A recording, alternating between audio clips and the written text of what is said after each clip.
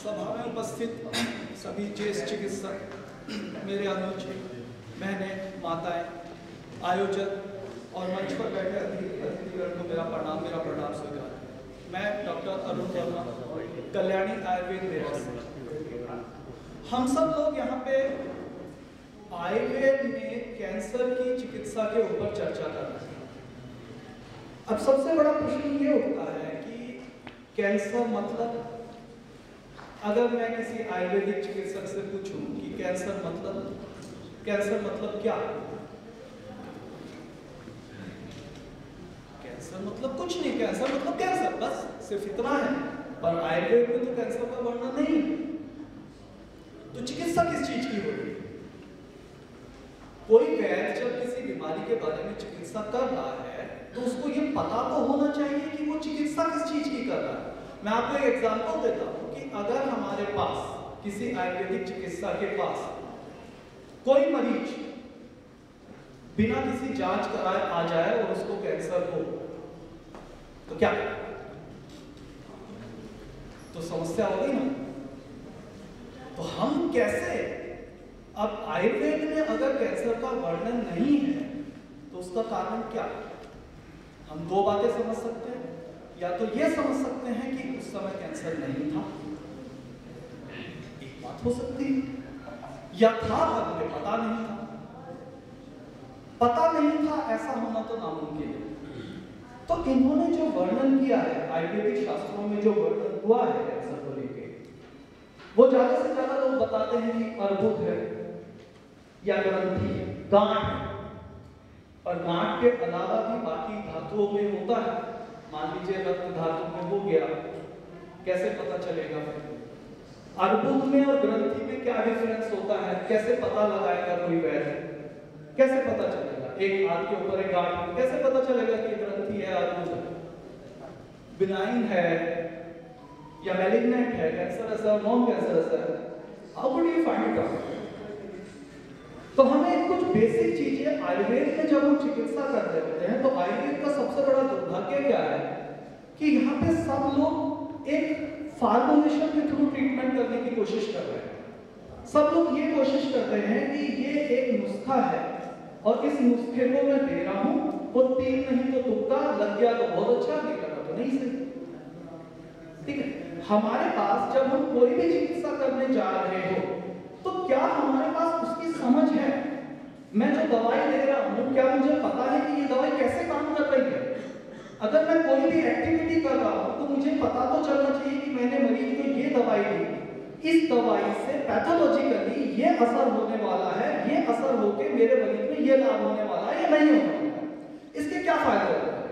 इसका फ़ायदा ये होता है कि एक तो आप मरीज़ की स्थिति के अनुसार उसको काफ़ी हद तक एश्योर कर सकते हैं कि भाई आपकी चीज़ या तो बिल्कुल ठीक हो जाएगी, या आपको हम कंट्रोल कर पाएँगे, या ये हमारे लिए असाध्य हो। गई तो उससे फ़ायदा क्या होगा कि हम मरीज़ के प्रति ज़्यादा ईमानदार हो जाएँगे, ज़्यादा ऑथेंटिक हो पाएँगे। हम मरीज़ को एक एक अंधी चाल के थ्रू सीधा ये नहीं कि जो भी आए आप ले लीजिए, सबको एक ही फार्मूला पकड़ाया जा रहा है कि बरसात चल रहा है सबके लिए। तो वो चीज़ उनकी वजह से आयुर्वेद में आदमी व्यक्तिगत लाभ तो उठा सकता है। ये हो सकता है कि कोई आदमी अपना बहुत काम कर दे, उसके पास भीड़ लग जाए भीड़ लगने के पीछे और भी बहुत सारे कारण होते हैं। भारत भावनाओं से चलता है। हम लोग इमोशनल लोग हैं। और जब आदमी के ऊपर भावनाएँ हावी होती हैं तो वो सत्य को नहीं देख पाता। अगर धीरे धीरे एक चीज़ प्रचारित होने लग जाए कि एक जंगल में वैद्य जी बैठे हैं और वो पानी में थूक देते हैं और उसको पीने से लोग ठीक हो जाते हैं, आपको उनके पास भी भीड़ लग जाएगी। उसमें कोई बहुत बड़ी बात नहीं।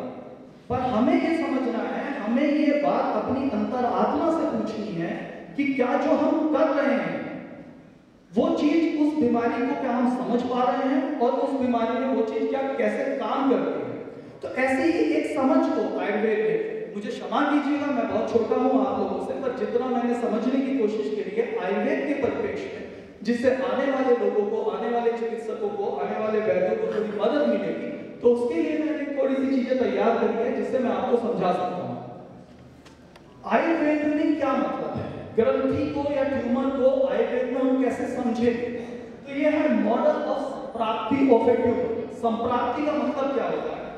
संप्राप्ति, कोई बीमारी कैसे प्राप्त होती है शरीर में? आयुर्वेद में छह स्थितियाँ होती हैं किसी बीमारी की। संचय, प्रकोप, प्रसव, स्थान संश्रय व्याकृत इन छह स्थितियों में बीमारी आती है। यानी कि कोई बीमारी जब तक प्रकट नहीं हुई है, उससे पहले भी हमें पता चल सकती है, अगर हम दोषों के संचय को सही से समझ लें। दोषों के प्रकोप को सही से समझें दोषों के प्रसार को सही से समझ ले, उनके स्थान संशय को सही से समझ लें, उनके व्यक्त होने को समझ लें और उनके अंदर फिर भेद को समझ ले। तो अब हम ये समझेंगे कि कैसे कोई चीज़ बनती है, क्योंकि मेरा यहाँ आने का उद्देश्य सिर्फ़ तभी सफल हो पाता है जब हम कोई सार्थक बात कर पाए इस बात के बारे में। बाकी हम ये कर रहे हैं, हम इतने पेशेंट कर रहे हैं, वो सब सब कर रहे हैं, सब अपने फ़ील्ड के राजा है, उसमें कोई दिक्कत नहीं। ठीक है? अब हम समझने की कोशिश करते हैं, संप्राप्ति ऑफ़ ह्यूमन क्योंकि ये ज़्यादा महत्वपूर्ण चीज़ है, जिससे आपको ये समझ में आएगा कि कोई वैद्य जब आपकी चिकित्सा करता है तो क्या वो जानता भी है कुछ? जिस बीमारी का वो इलाज कर रहा है, उसकी एबीसीडी भी उसको पता है कि वो है जिसके लिए वो चिकित्सा कर रहा है, दवाई दे रहा है, क्या वो जान रहा है कि वो मेडिसिन काम कैसे कर रही है उसके ऊपर? एटलीस्ट हमें कितनी समझ ज़रूर होनी चाहिए बीमारी के बारे में। तो हमारे सामने निदान निदान बोलते हैं कारण। तो आयुर्वेद में बहुत सिंपल टर्म दी गई है, इसको बोलते हैं बहुत बहुत विद्वान लोग थे। उन्होंने कहा, मिथ्या आहार विहार। मिथ्या वर्ड बड़ा मज़ेदार है मिथ्या का मतलब होता है असम्या गलत तरीके से किया जाता है मिथ्या मतलब झूठ नहीं होता जैसे कोई कहे संसार मिथ्या है इसका मतलब झूठ नहीं है। इसका मतलब ये कि जैसा है, वैसा दिखाई नहीं देता। इसलिए मिथ्या है संसार इसलिए माया है। ठीक है? तो हमारे लिए निदान निदान में जब भी कोई ट्यूमर बनता है तो उसमें कफ का संचय होगा। ये बेसिक प्राइमरी रिक्वायरमेंट है ट्यूमर के तो ये जो कफ का संचय है, ये जब संचित होता है तो बाकी दोषों को प्रकोपित कर देता है। तो पीछे पीछे बाकी दोष जब प्रकोपित होते हैं तो मंदाग्नि पैदा होती है। मंदाग्नि से आम का फॉर्मेशन होता है बॉडी के अंदर। आम से स्रोतोदुष्टि होती है बॉडी के चैनल्स ब्लॉक होते हैं। और स्रोतोदुष्टि से स्रोतों का अवरोध होता है। स्रोतों का अवरोध होने से दोष बीमार का यानी कि जो उनका रास्ता था, वो छोड़ के दूसरी जगह की तरफ़ पलायन कर जाते हैं। और दोष, दुष्य सम्मूर्छना प्रकोपित दोष, जब किसी दूसरे दोष में जाके मिलते हैं तो उसको हम बोलते हैं दोष दुष्य सम्मूर्छना अब वो जाके दूसरी जगह पर उन्होंने अपनी जगह बनानी जो उनके ओरिजिनल साइट से उससे अलग उसके बाद विशेषण और धातु। धातु का दृष्टिकरण होना शुरू होगा यानी कि दोष हमारे साथ धातु है। रस रक्त मांस में अस्थि, मज्जा शुरू जिस धातु में जाएगा, उस धातु को दूषित कर देगा। ठीक हो गया? तो यानी कि उस धातु से संबंधित प्रॉब्लम उनको होनी शुरू हो जाएगी। वहाँ पे पहली बार पूर्ण रूप आने लगते हैं बीमारी अपने हल्के हल्के लक्षण दिखाने लगते हैं उसके बाद भी हम नहीं पकड़ पाते तो फिर वो रूप में बदल जाती है, यानी कि ट्यूमर में आ जाती है। और उसके बाद उसके उपद्रव, यानी कि कॉम्प्लिकेशंस पैदा होते हैं ठीक है ना? ग्रोथ एंड मेटास्टेसिस जैसे आपने सुना होगा कैंसर दूसरी जगह पर फैलता है। ठीक है? तो उसके बाद इसके बाद और इसका एडवांसमेंट हो सकता है, जैसे जिसको आयुर्वेद में अध्यारोप बोलते हैं बोलते हैं, जैसे मेलिग्नेंट ट्यूमर जिसको बोलते हैं। एक ट्यूमर बिनाइन से मेलिग्नेंट में भी कन्वर्ट हो सकता है। यानी कि ट्यूमर को मैं बेसिक लेवल पे आपको समझाने की कोशिश करता हूँ कि हर आदमी ट्यूमर की सेल्स लेके घूम रहा है कैंसर की सेल लेके घूम रहा है। हमारा शरीर एक माँ के गर्भ में एक स्पर्म और एक एग से बनता है। जाइगोट बनता है, उसके बाद उनका डिवीज़न होना शुरू होता है, असंख्य सेल्स बनती हैं, उससे हमारे शरीर का निर्माण होता है, बच्चा इतना बड़ा हो जाता है कि अंदर नहीं रह सकता, शरीर से बाहर आता है। उसके बाद भी सेल्स का डिवीज़न चल रहा है। वो बच्चा बड़ा होता जा रहा है, बड़ा होता जा रहा है। एक सीमा के बाद सेल्स की बनने की प्रक्रिया और सेल्स की डैमेज होने की प्रक्रिया समान हो जाती है और आदमी स्थिर हो जाता है। ऐसी प्रक्रिया में अगर किसी अंग में ये स्मृति चलती रहे और किसी पर्टिकुलर अंग में वो डिवीज़न बराबर चलता रहे तो उस अंग में ट्यूमर पैदा हो जाए यानी कि आप ओरिजिनली सब चीज़ें लेके चल रहे होते हैं, परंतु शरीर की साम्य अवस्था जब विषम में पहुँच जाती है आपको ऐसी बीमारियाँ होती अब अगली स्लाइड में मैंने एक हल्का सा अंदाज़ा बताने की कोशिश करी है, जैसे हम सब लोग बात करते हैं कि आयुर्वेद में सभी दोषों में बात ठीक का ठीक है? वास्तविक तत्व हम समझेंगे अगर हम ये जानते हैं कि एक सेल एक सेल के अंदर डिवीज़न होता है, जिसकी वजह से uncontrolled division the very uncontrolled division of the cells is known as cancer तो उसमें कैसे होता होगा? हमने बात वास्तविक तत्व से एक सेल में कैसे तो मैंने थोड़ा समझने की कोशिश करी है। एक सेल है, उस सेल की जो बाहर की सबसे आउटर लेयर है दैट इज़ सेल मेम्ब्रेन और सेल के अंदर का जो साइटोप्लाज्म है, और सेल के अंदर न्यूक्लियस है, ये तीन चीज़ें होती है।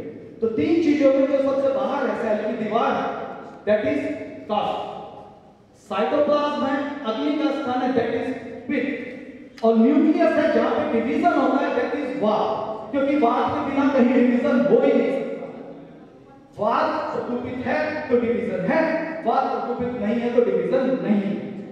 ठीक हो गया? इसीलिए बहुत बार गैर जब मरीज़ फंसता है मरीज़ तो समझ नहीं पाते क्या होता है। कॉम्प्लिकेशन जब होती है तो वात नियंत्रण से बाहर होता है।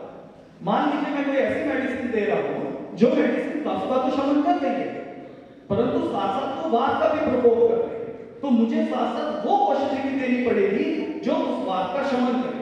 इसीलिए अक्सर क्या होता है कि आप कैंसर का ट्रीटमेंट करते रहते हो, चार मरीज़ उससे रिस्पॉन्स हो एक मरीज़ उसी दवाई से कॉम्प्लिकेशन हो गई आपकी। अब वो समझ में नहीं आ रहा क्यों हो रहा तो ये बेसिक चीज़ों को हमें समझना होगा। आपको थोड़ी बात समझ में तो आ रही है मैं और सरल करने की कोशिश करूँगा, ठीक है?